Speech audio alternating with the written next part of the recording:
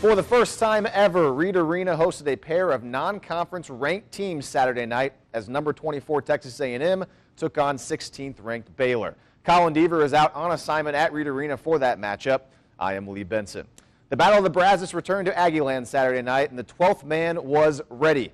A very healthy crowd shuffled into Reed and they were rewarded for their efforts. This was the first time these two teams had played a game in College Station since the 2011-2012 season, and the Aggies made the most of it. What a start for Texas A&M. Anthony Collins out ahead to Jalen Jones for the easy bucket. The Aggies would score the first four points. Moments later, Danuel House gets the steal, and then the slam. The Aggies opened a 16-4 lead over Baylor in the opening minutes. More from House. He dials it up from way downtown. We know he can shoot. House had been struggling a bit lately, but that all ended Saturday. A&M up by 13, and House hits another three. Then give some love to Anthony Collins. It wasn't just House out there, though. Alex Caruso sets this play up very nicely, then takes the backdoor pass from Tavario Miller. Caruso slams it home. 12-point lead for A&M.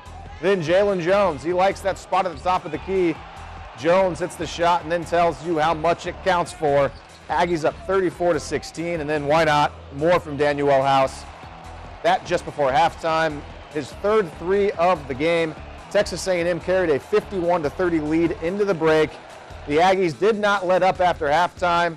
They have their way with Baylor. Texas A&M wins 80 to 61.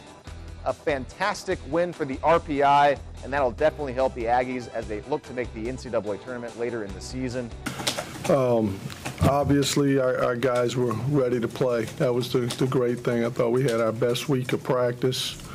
We prepared the right way. Our seniors did a good job of setting the tone, and uh, I thought our bench came in and we were the aggressor, uh, especially on the defensive end. And um, we had 23 assists sharing the ball, and obviously we made some shots, but it, it was, uh, like I've been saying, it was just going to take us some time to get our rhythm going and getting a, a good, consistent flow defensively and offensively.